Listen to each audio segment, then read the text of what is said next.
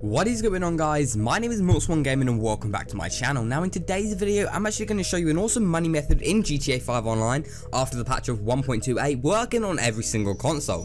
So guys, if you do go ahead and enjoy today's video at all, make sure you do drop a like and subscribe for less than the best Grand Theft Auto 5 content. So this glitch is actually really really easy, it's not even a glitch really, it's a method to make unlimited money in GTA 5 Online.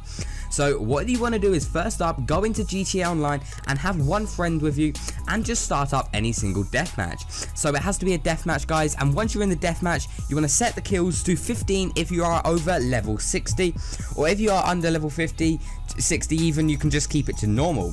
So once you're in a deathmatch with your friend, what you want to do is actually kill your friend 14 times in a row. Basically, just kill him 14 times in a row.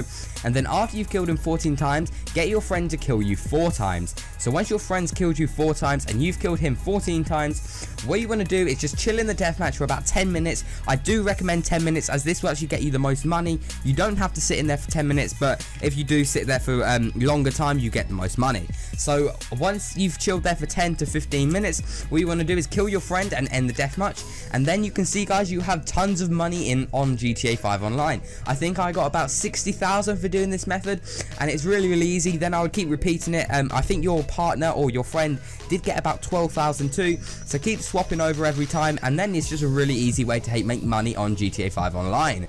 So guys, if you did go ahead and enjoy today's video at all, make sure you do drop a like and subscribe for and the best Grand Theft Auto 5 content.